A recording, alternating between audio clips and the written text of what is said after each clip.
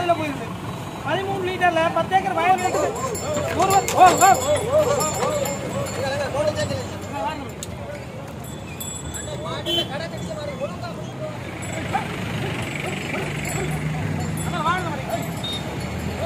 நூறு